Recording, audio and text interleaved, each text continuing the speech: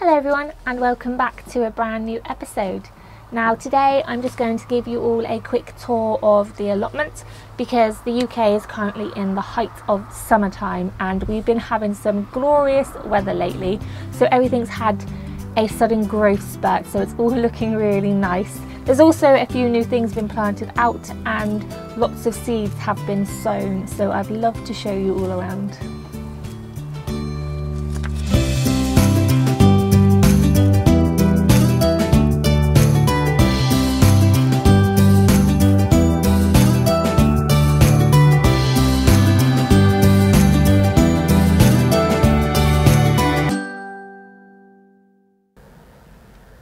So I was going to set the camera up on a tripod and video me talking about the plot, but I thought this way will be so much easier for me, so much quicker, and it will also allow me to get you up and close and personal with what I'm actually talking about. So let's head on out. Now we'll start in the area which we usually start in and I'll admit it hasn't changed much. I haven't had the time to actually tidy it and I haven't had the time to make the manure bin yet. But what I have done is I filled the water butt up, or the water tank I should say, because there were threats of having a hose pipe ban here and I didn't want to be caught out with no water. And there's also some more chamomile growing.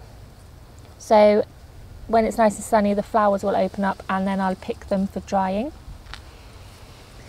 The skullcap is also absolutely stunning. I mean, look at the colour of those leaves. I'll be picking this to make tea with as well.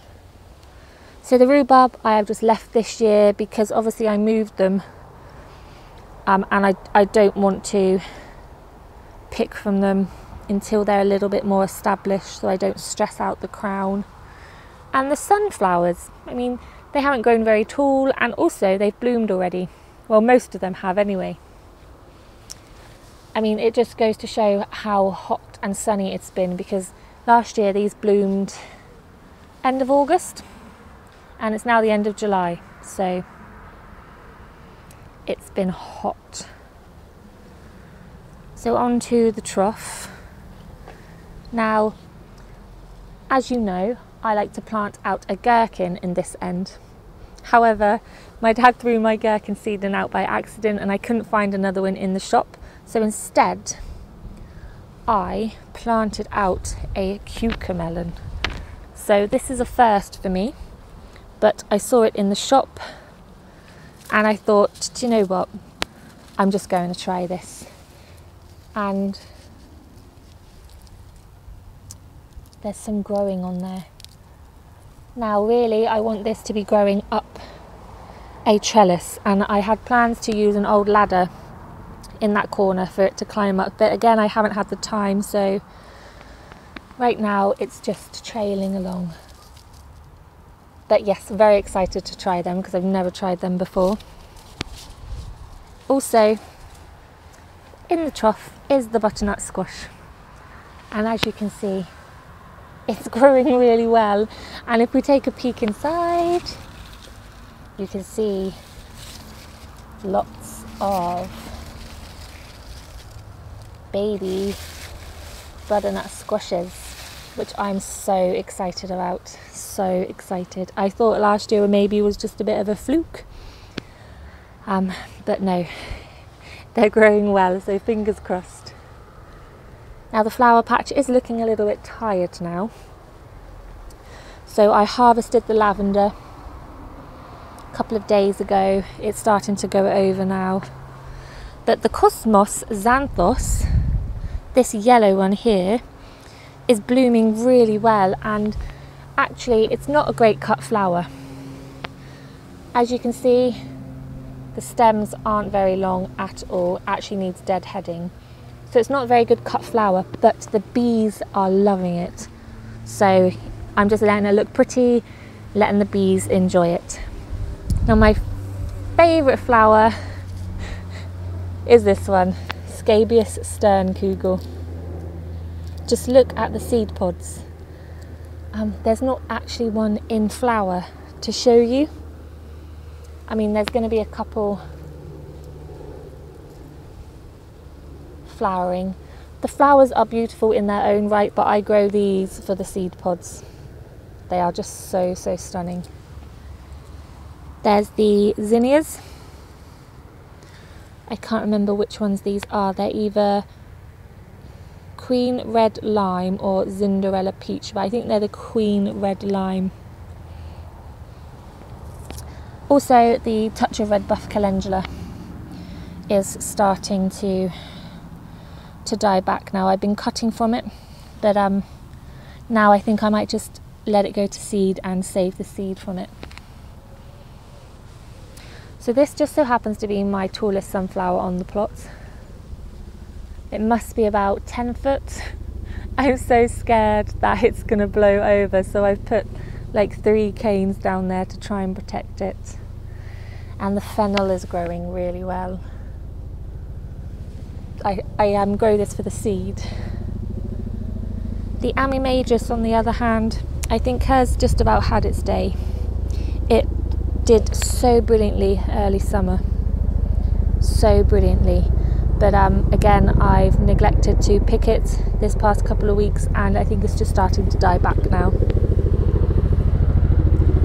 Oh, there's a chinook.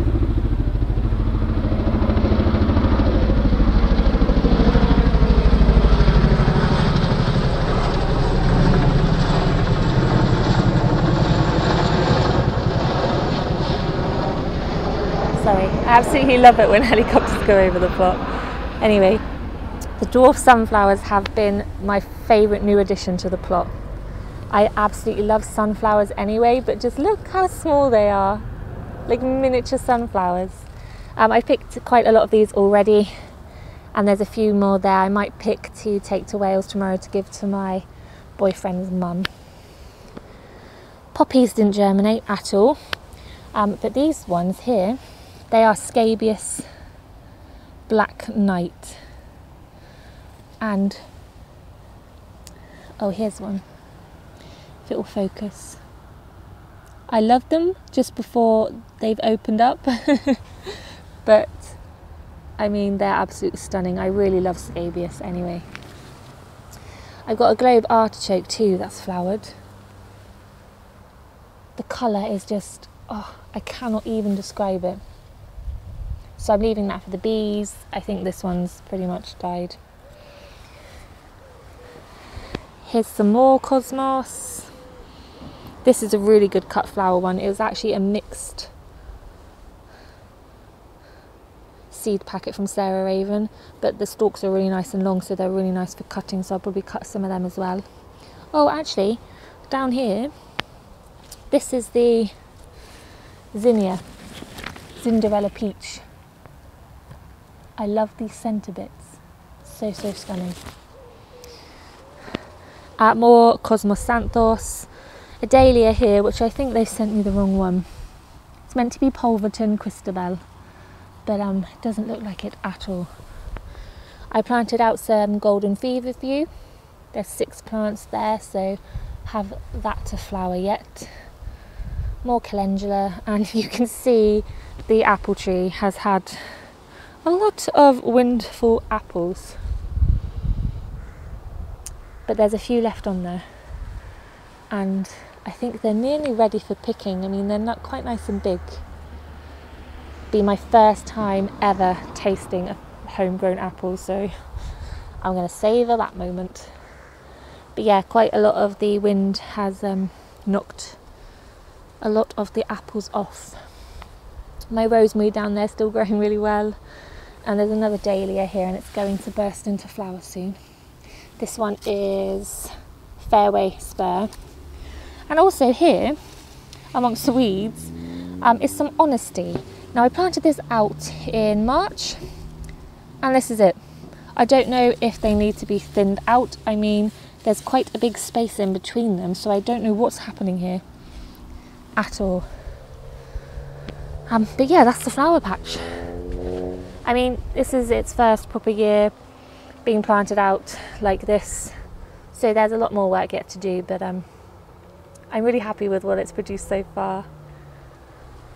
The archway is looking a little bare. I would like it to look a bit fuller than that, but the sweet peas have been blooming lovely, and there's borlotti beans growing on here. The colour is just lovely.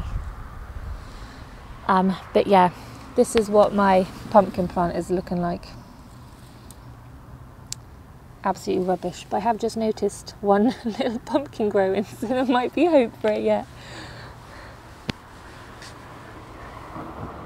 The shed, I've got lots of things drying inside. Some scabious Sternkugel there. My alliums, some lavender. Um, that's the lavender that I picked the other day. But yeah, it's just looking a bit of a general mess right now. So in the old potato bed, I planted out my musselburgh leeks.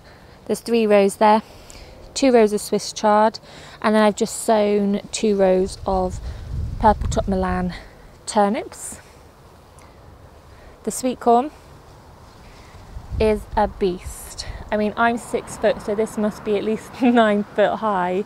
I was actually worrying about this for ages because it was growing so much in height and it didn't have any tassels on it. And then all of a sudden, about a week ago, the tassels appeared. So I've been giving them a good shake, um, and there's loads of cobs on here. So excited.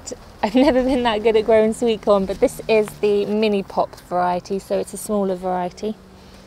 And if you can see, there is a pumpkin growing amongst them.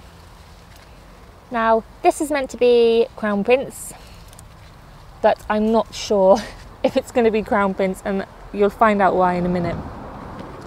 So, my three courgettes are growing here. Now, the Black Beauty courgette, I've only picked one from there so far. There is another one growing, but the yellow Parador has been so prolific and absolutely amazing. I absolutely love this variety. One of the main reasons why is because you can see the crop so much more easily than, than the green varieties. So I'm going to pick these three and that one over there to take with me to Wales. My carrots are still there, but they need picking because they are huge. But I have sown two more rows next to it there. I've also planted out some climbing French beans to climb up this wigwam. I've also sown some borlotti beans to grow up the one at the back there. And this is just one pumpkin plant. And like I said, meant to be Crown Prince. However, and let's find our way up here to the beast. I mean, it's just huge that's not a crown prince. If it is a crown prince, it's gonna be massive, but I really don't think it is. All the crown princes I've grown in the past have been like football size. This is massive. So, yeah, I don't know what happened there. But I'm pleased, I'm so happy with it. So, the brassica cage is looking a lot weedy very, very weedy, and something's been nibbling the top of my swede. So that's one row of swede there, one row of red cabbage, one row of curly kale, which is actually ready to pick. I also planted one row of cauliflower, but as you can see, gone. Um, what's this one? Oh, Brussels sprouts and then you probably can't see. There's one row of um, purple sprouting. So there's four plants there. But they won't be harvested until April. So they've got a long growing season. But it's all growing well. It just needs a really good weed as you can see.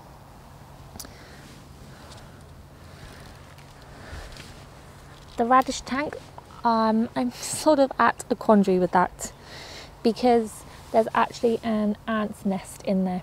I'm not sure what to do with it. And I didn't want to plant any radish out while there's an ant's nest in there and I, I don't know if I should get rid of it or what. So any tips on ants nests would be really helpful because I miss picking my fresh radish. The fruit cage, the raspberries are growing well. They're autumn fruiting so they'll be ready to pick around September time. I harvested the gooseberries and the last of the black currants were harvested as well just the other day. So they've all done their job apart from the raspberries. And if you can see through there, the vertical planters didn't work for me at all. I think it's just because of the busy work schedule. Um, they need watering every day, if not twice a day, and I just wasn't able to do that. So um, I just let them die back. Poor strawberries. But yeah, they need to be, you know, at home, or you need to be able to come up the allotment twice a day. The wildlife patch was looking rather empty, but I've added some new additions. There's a anemone there called Wild Swan, um, and there's also some Rudbeckia at the back there. But apart from that, it's looking really empty and a little bit sad. But it's just one of those areas which I've just left this year. But I have been filling the pond up with water because it's been so hot and dry. Um, the pond needed filling up a couple of times. But the grapevine's looking really good. I haven't spotted any grapes on there yet, but I think I pruned it wrong last year, so you live and you learn. I'm just glad that it came back because I pruned it so, so wrong. Um, so yeah, I know now. I've got my pruning book. But this is its third year, so I won't be picking any grapes from it for another two years yet anyway. Um, and I thought the rosebush had had its day as well. It put on the best show this year, but a couple of last minute shows brightening up the place, which is nice. The spearmint is growing really well. I've been picking this quite a lot to have all our potatoes. Um, but yeah, that's about it.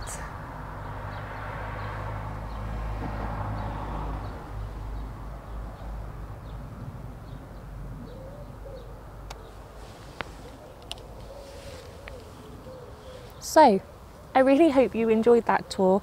I'm sorry if it was a little bit shaky, it's just so much easier for me to video a tour like this um, because like I said you can get up close and personal with the things that I'm actually showing you rather than me just being far away going oh look at the size of this pumpkin sort of thing so um, yeah I do apologise if it was a little shaky um, but I just really wanted to show you around because well I'm a little bit proud of the allotment this year. I know it's still messy and there's still weeds and there's still you know messy areas, but um, we've been so busy and I'm just shocked that we actually managed to find time to actually grow things this year.